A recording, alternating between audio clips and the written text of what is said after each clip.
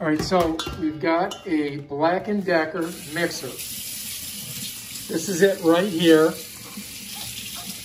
And that's where you stick your uh, mixing things, but she is right now cleaning because we made a white cake. Now we're gonna make a chocolate cake, and that's gonna be delicious. Do not put my face in any of these. All right, so let's see your, let's see what the, the things how they go in. You push it in, and it locks just by pushing. Yep. Do you have to do any anything else on it? Nope.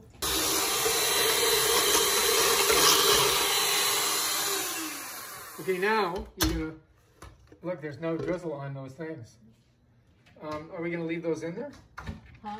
Oh, what is this? That's your power booster. Those are your different settings. One is the lowest, and six is the highest. And if you press that, it ejects your two mixers on the end. That's how it works. And it sits really nicely, just like that.